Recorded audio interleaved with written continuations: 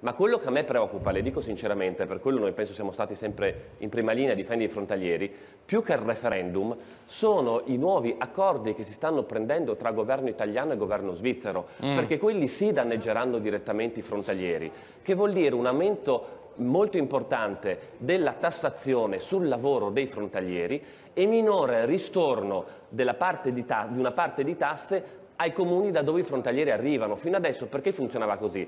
Perché i frontalieri pagano le tasse in Svizzera, però vivendo in Italia c'è sempre stato un ristorno perché i servizi, dei servizi ne usufruiscono in Italia sì. per la stragrande maggioranza.